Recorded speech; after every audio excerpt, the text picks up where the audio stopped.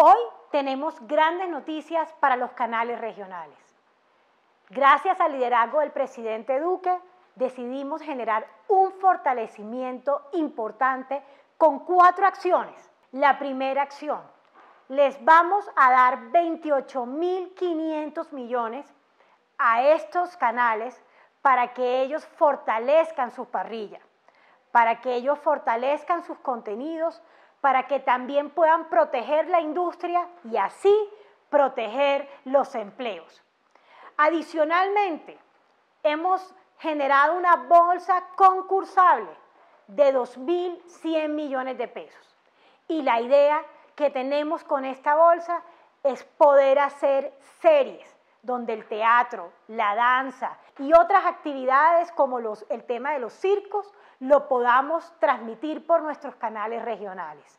Ahí estaríamos apoyando un talento muy importante, el talento de los actores y adicional queremos decirle la tercera noticia importante que creo que va a ayudar a conocer que tenemos dentro de nuestros canales regionales una segunda señal que apoya contenidos educativos.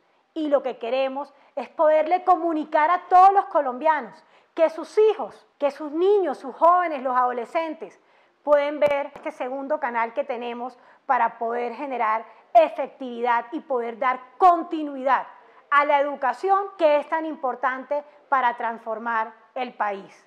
Y como última medida, hemos decidido subsidiarle a todos los canales regionales la suscripción a Red Tal.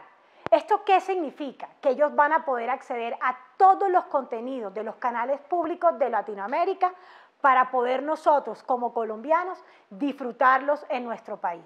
Así que seguimos trabajando para fortalecer nuestros canales regionales, para fortalecer estas alianzas, pero sobre todo para decirles a todos los colombianos que en medio del COVID nuestros contenidos serán de gran calidad para todos los televidentes.